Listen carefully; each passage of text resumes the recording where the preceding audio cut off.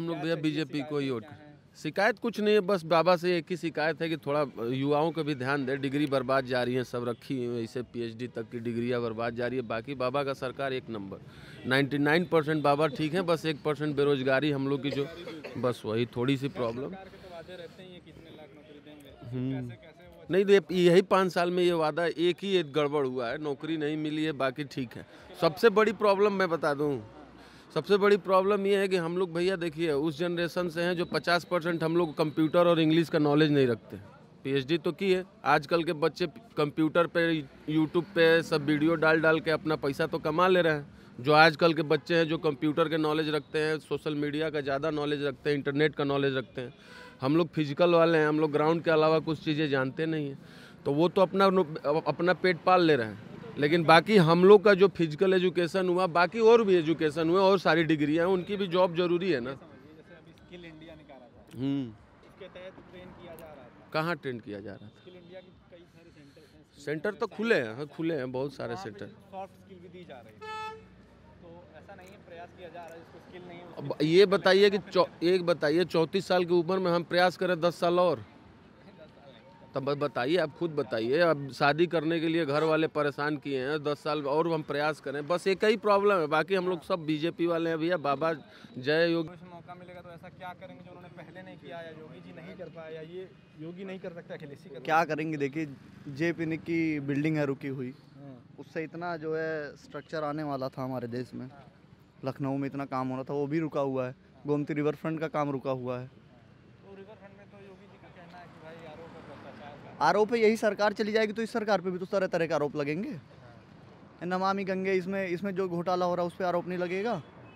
सरकार जाएगी तो आरोप तो सब पे लगेगा। जिसकी सरकार रहती है उस पर कहाँ आरोप लगता है?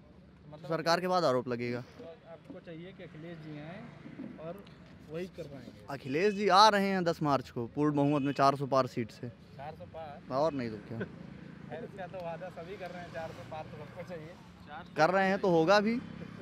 देखिए वो तो ठीक है। जनता के हाथ में यही मुझे जनता का है देखिए हम लोग तो- ठीक ठाक नहीं समझ में आ रहा है हम लोग तो समाजवादी हैं। हाँ। तो नहीं मैं ये कह रहा हूँ। नहीं, हैं, अच्छी बात है चार सौ पार कैसे आएँगे वो तो बताइए चार सौ पार का कोई आंकड़ा होगा ना आपके पास? भैया चार सौ पार सीट पार हो रही है बड़े आराम से। मुँह से तो कहने से तो हम भी कह रहे हैं कि योगी जी फिर आ रहे हैं। तो कैसे आएँगे वो हम बता रहे हैं ना कि क्यों आएँगे? तो आप बता दीजिए क्यों आएँगे चार सौ पार कैसे आएँगे देखिए पहली बात तो सरकार का इतना विरोध है यहाँ पे जिसका कोई हद्दो हिसाब नहीं है।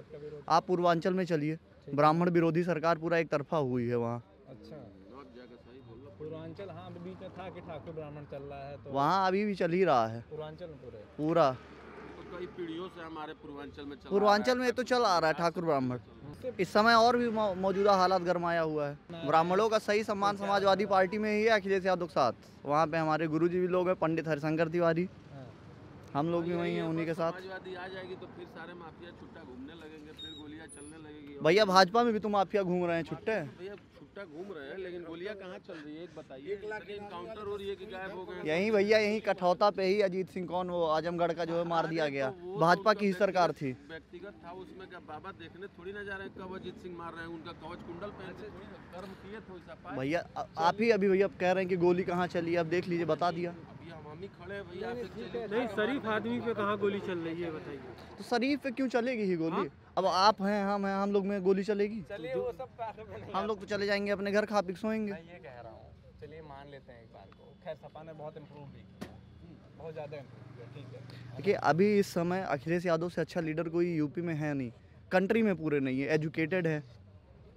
मैनर्स हैं उनके अंदर और किसके अंदर है? अब बैनर उनका अपने पार्टी के ये बताइए मुख्यमंत्री का कोई रवैया होता है कि मुख्यमंत्री कहे कि ठोक देंगे?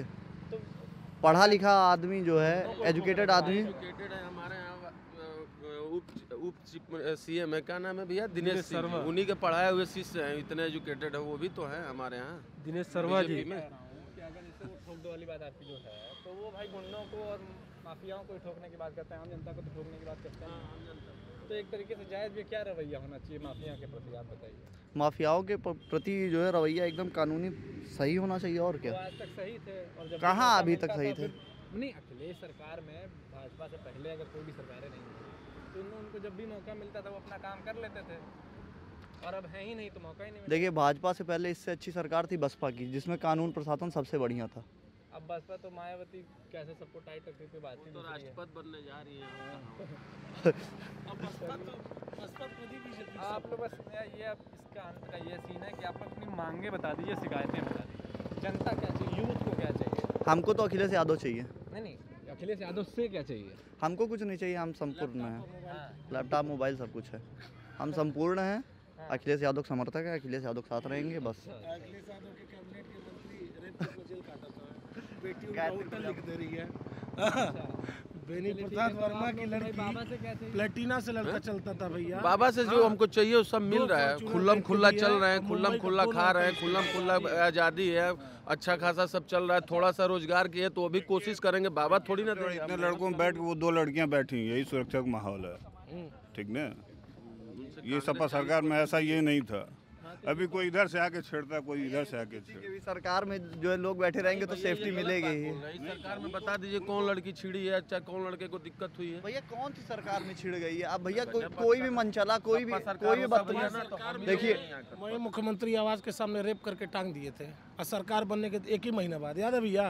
वहीं वीआईपी रोडवा पे टांग दिए थे पेड़वा पे। अरे सब पे सरकार में मायावती का जब वीवीआईपी गेस्ट हाउस में साड़ी खुल सकेला तो फिर लड़कियाँ कहाँ सेफ़ रहेंगी?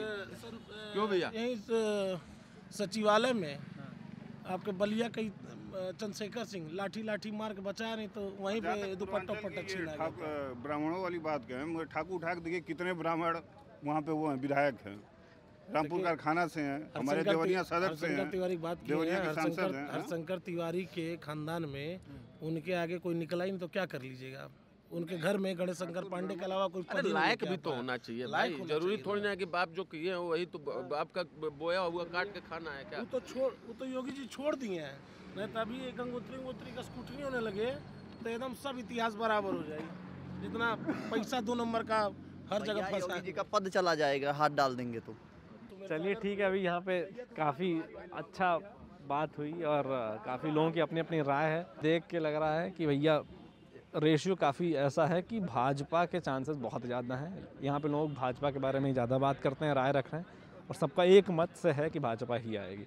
तो यहाँ की बातचीत से तो लग रहा है कि सरकार भाजपा की बनने जा रही है। बाकी अब देखते हैं क्या होता है।